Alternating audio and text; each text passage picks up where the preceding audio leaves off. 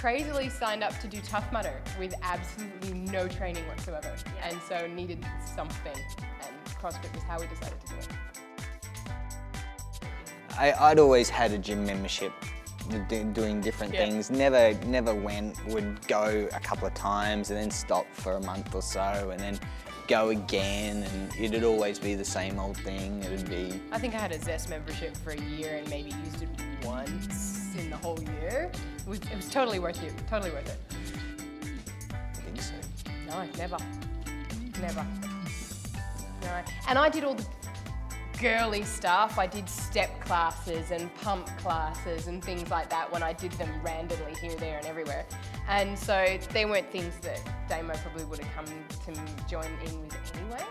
So the versatility of what we do here, the variety and that, it's more conducive to doing it together. It's us time. Yeah. It really is us time. It's a time where we can both do things, something we enjoy, do it together.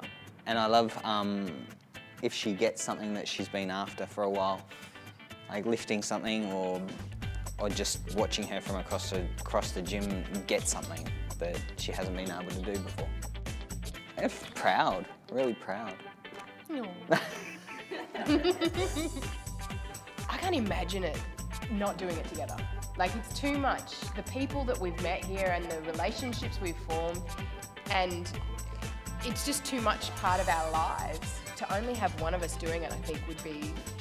I can't even imagine. Yeah, I honestly couldn't can't even imagine.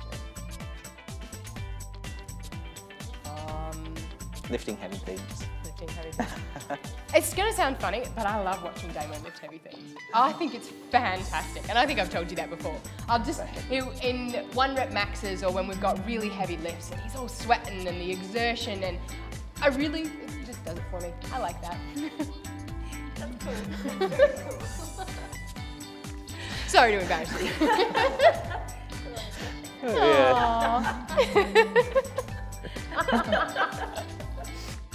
Uh, I think it's it's got us closer. I think because um, we're fitter, and so we can do more things instead of just sitting on the couch and watching TV.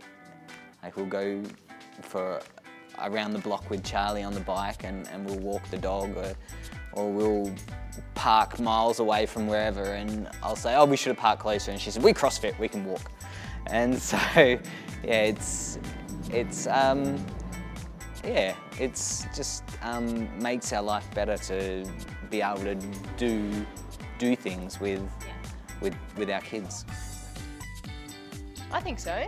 Yeah, we enjoy that's the attitude you go, oh, I'm going to go to the box today. We're going to go do a workout versus, oh, I need to go to the gym today. That's not how we approach going and working out. It's more positive, which I think leads the kids to see that, oh, look, they're going to the gym and they're really enjoying going to the gym. Working out is a good thing.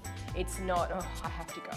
So they, they'll hopefully get that from us, that going to the gym and working out and staying healthy is something good. She'll set up uh, some sort of obstacle course or bits and pieces where she'll have to run and then do wall walks and then do burpees and she grabs my ab mat and does some sit-ups and she was doing forward rolls at one point and yeah she sets up all these crazy like okay today's workout is this for this and this for this and yeah she does all these little crazy things and it's really good.